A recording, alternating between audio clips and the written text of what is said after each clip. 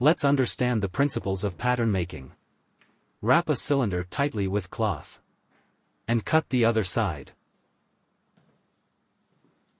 You will have front and back patterns of the cylinder.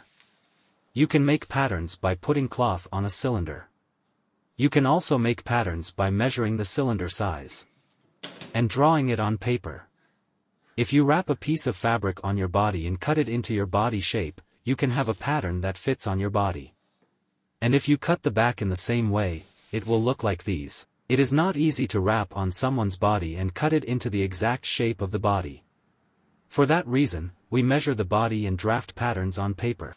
Let's learn how to measure a body to draft dart-free patterns for making dartless tops. Bust size, measure the round of the breast passing through the bust points horizontally without too much pulling it. Upper chest, measure the chest just under armpit horizontally without too much pulling the tape measure. Waist size, measure horizontally the waist round of the thinnest part.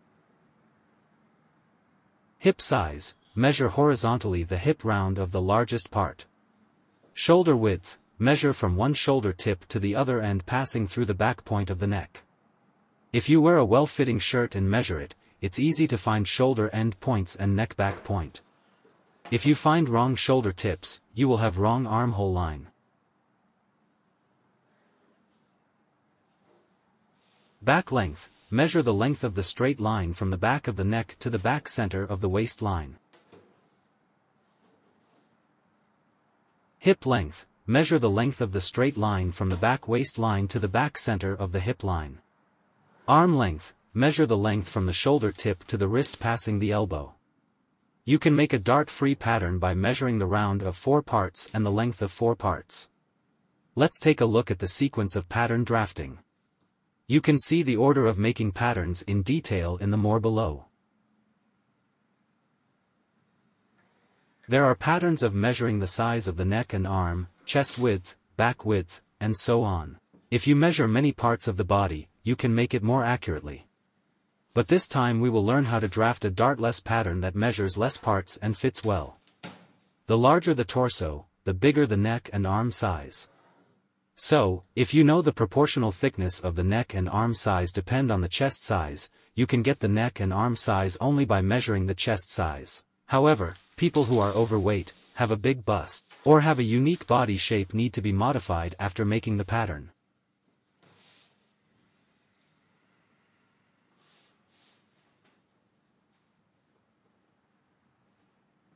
It is convenient to calculate the necessary dimensions of the chest, bust, hip measurement in advance. Let's make a pattern by applying your own measurements to every formula. Draft the back bodice first draws the right angle long enough. The armhole depth is the depth of the circumference of the sleeve. The calculation method is c divided by 4 minus 1. Example measurement have in chest 85, so 85 divided by 4 minus 1 is equal to 20.3 centimeter. Draw a line at right angles from 20.3. Draw a line at a right angle at 19 centimeters from the back length. Connect the two points. Draw a line at right angles at C divided by 6 plus 3. Mark at a point C divided by 12. Draw a right angle line up of C divided by 12 divided by 3. Mark a point of 14 centimeters parallel to the below line. Mark a point 4 centimeters below at right angles. Connect the two points. It's the back shoulder line. Connect the natural small curve of the S-mode ruler to the second points in the divided 3. It's the back neck round. Mark a point at the center from the back shoulder to the armhole depth. Connect the B divided by 4 point with the 1 cm drop from the center point. Find the center point. Draw a right angle line. Mark a point on the center of the line. Draw a natural curve where the three points meet by gradually moving up and down the large curve of S mode. Fix the width of the shoulder, example 19 centimeters, to the back of the neck, and move the ruler to mark where it meets on the shoulder line. Draw a natural curve that connects with the curve below to the marked point on the shoulder line. Draw the front pattern to be symmetrical to the back pattern. Connect the sides of the chest and hip lines. Draw a line at right angles at point C divided by 6 plus 2.5. Draw a line at right angles at C divided by 12. Draw a line at right angles at point C divided by 12 plus 1. Create a rectangle. Mark at the point 14 centimeters, draw 5 centimeters down at right angles. Draw the shoulder line that passes 5 centimeters down point. Measure the length of the back shoulder. Mark the same length as the back shoulder length on the front shoulder. Divide it into three equal parts. Connect with the second point. Draw a right angle facing the corner against the diagonal line. Find the center point. Mark 1 cm inside point. Draw a curved line that meets the three points with the large round part of the S-mode ruler. Connect naturally to the shoulder end point marked, with a gentle curve. Draw a diagonal line. Divide it into three equal parts. Mark 0.3 centimeters below the second point. Mark inside 0.5 centimeters, draw a curve where three points meet. Extend 2 centimeters down. Mark a point 0.5 centimeters above.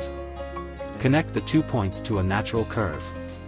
Draw at right angles at the beginning. Connect it in a smooth curve from the side line to a point of 6 to 7 centimeters. Draw the beginning of the side line at right angles. It's complete of dartless torso. If you make a shirt with this basic pattern, it's going to be about this size. After drafting the basic bodice of your size, you need to design how much you want to stretch for the neckline band. Whether to tighten the waistline or loosen the fit. Whether to shorten or add the length. Draft the sleeves after you design them. Let's make the first top without making a big change to make sure that the size of the pattern you made fits well. The basic neck round is the size when the shirt collar has buttoned, so when making a t-shirt, extend the neck size. Draw a natural curve with the shoulder line and center line lowered by 1 cm from the base line as like base neckline shape extended. Draw a natural curve with 1 cm lowered shoulder line and 0.5 cm lowered back center line from the base line as like base neckline extended. Draw 1.5 cm thick ribbing. The front neckline curves symmetrically on the other side to see if the neckline curve is natural. Draw a curve close to the straight line from the side line to the point of 1.5 cm inside. Draw a natural convex curve like a side hip shape. Smooth out the angled parts naturally. Draw the bottom line of the front and back pattern by extending 3 cm in the same shape. Let's learn how to draw sleeves. Measure the armhole with a tape measure to draft the sleeve pattern. Put the tape measure on the side and measure it.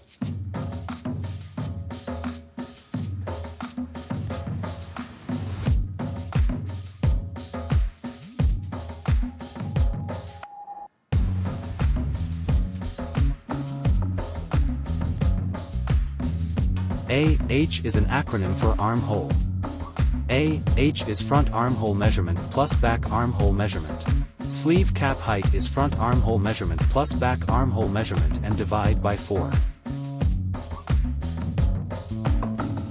Fix the back sleeve measurement at the sleeve cap height and move the ruler for finding 0. The front armhole needs to draw a little bit short. Draw the horizontal line with the line below. Mark on both sides the length of the front and back armhole length divided by 8. Mark inside the length of the front and back armhole divided by 12. Mark inside the length of the front and back armhole divided by 8.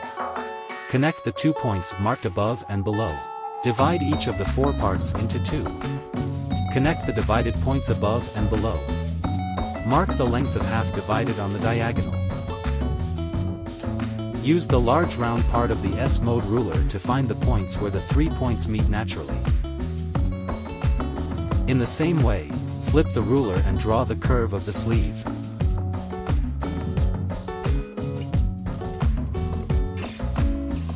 Draw a rectangle down to arm length. Mark the length of the wrist by adding 5 to 10 centimeters, depending on your design. Divide the remaining portion into two halves. Connect the tip of the sleeve cap to the center point of the divided half with a gentle curve. Move the remaining portion to the other side and draw a symmetrical smooth curve. Draw a gentle curve with the rear sleeve center convex downward. It's completed the dartless bodice pattern and the sleeve pattern. Let's take a brief look at the procedure of cutting the pattern and cutting and sewing the fabric. It has cut the fabric with the seam allowances.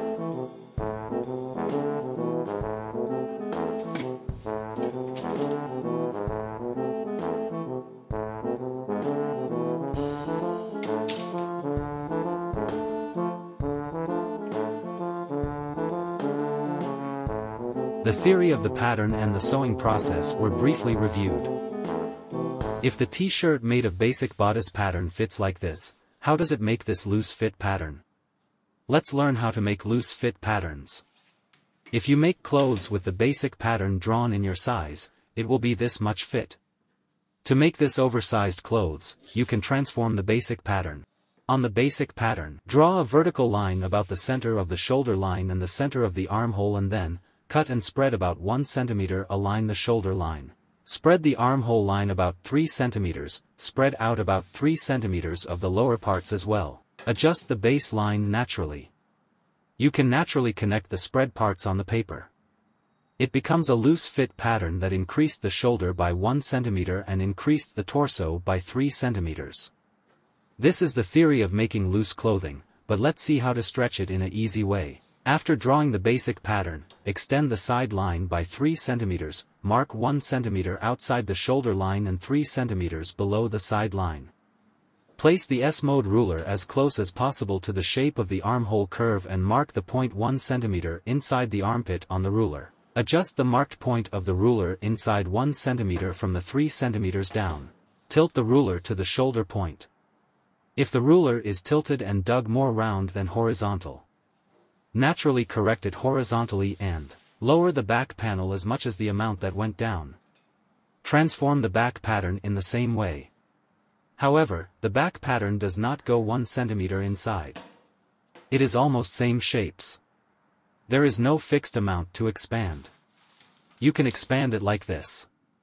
Beginners don't know how much to expand for the loose fit as you want. So let's make a t-shirt at first by expanding the shoulders and hem by 1 cm and expanding the sides and armholes by 3 cm.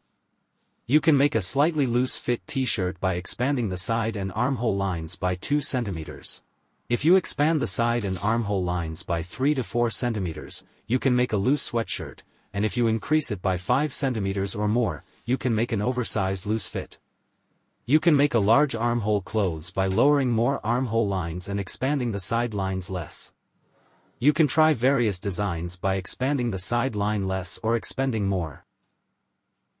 Lowering the armhole line less or lowering more.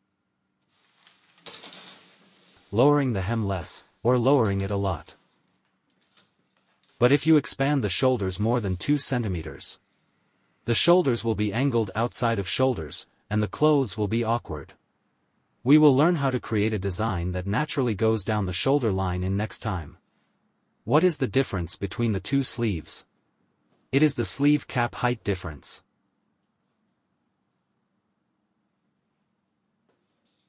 It is easier to move the less angled sleeves and shoulders. Angled sleeves are less active,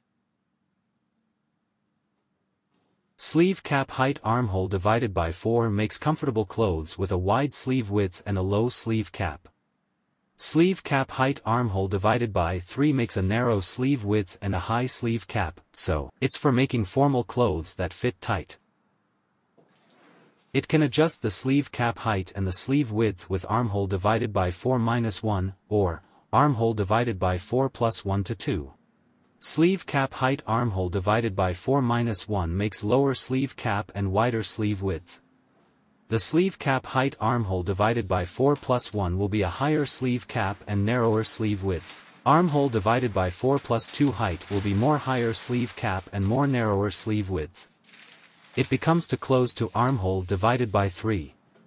Armhole divided by 3 minus 1 the sleeve cap height will be lower and the width will be wider. Armhole divided by 3 minus 1.5 the sleeve cap height will be more lower and the width will be more wider. It becomes to close armhole divided by 4. And then, drawing close to a straight line. Wide sleeve top. Drawing a curved line. Narrow sleeve top. These are examples of sleeve cap height for the clothes design. Sleeve cap height is depending on the clothes design. If you can make dartless bodice pattern, you can make t-shirts or loose fit tops. A fitted dress or suit needs a dart bodice pattern. For beginners, making a lot of clothes that use dartless patterns is good for getting used to patterns in sewing machines.